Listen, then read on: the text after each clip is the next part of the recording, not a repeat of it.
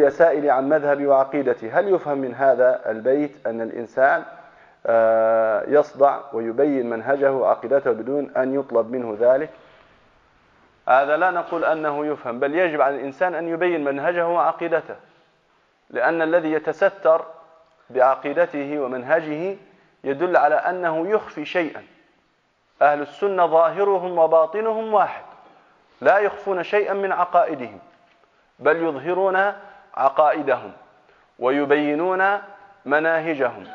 وأما طريقة غير أهل السنة والجماعة من الحزبيين ونحوهم فتراه يخفي عقيدته ولا يظهرها إلا لمن يثق به.